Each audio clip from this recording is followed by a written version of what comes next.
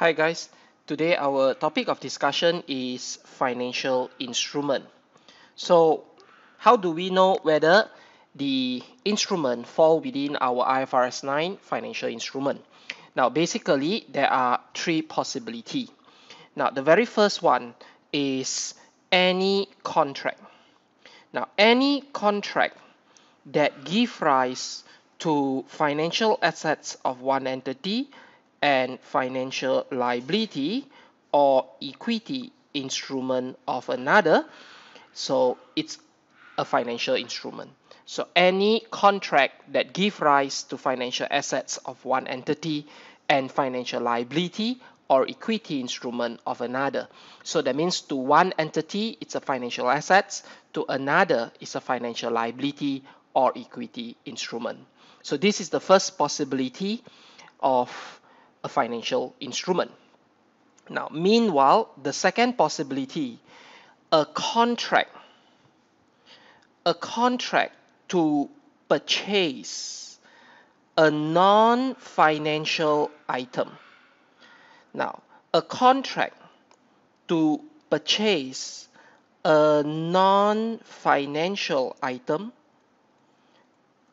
is also a financial instrument if the contract is to be settled net. Now, when I say net settlement, basically it means that the entity do not take no physical delivery. So the entity do not take physical delivery of the non-financial item. So a contract to buy a non-financial item to be settled net. That means there is no physical delivery of the non-financial item is also part of a financial instrument. So a good example is hedging.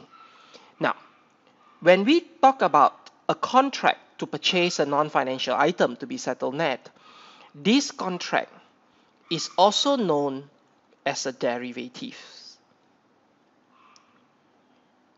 Now, a derivative is an instrument that will exhibit three characteristics.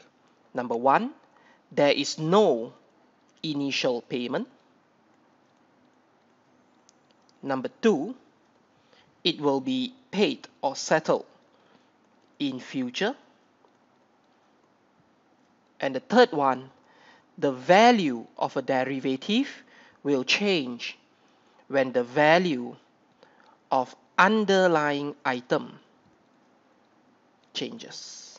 So the value of a derivative will change when the value of the underlying item changes. So this gives us the three possibility of a financial instrument. So you have to be careful in the event you have any one of them then you should remember the possibility of applying IFRS 9. That's it for this video.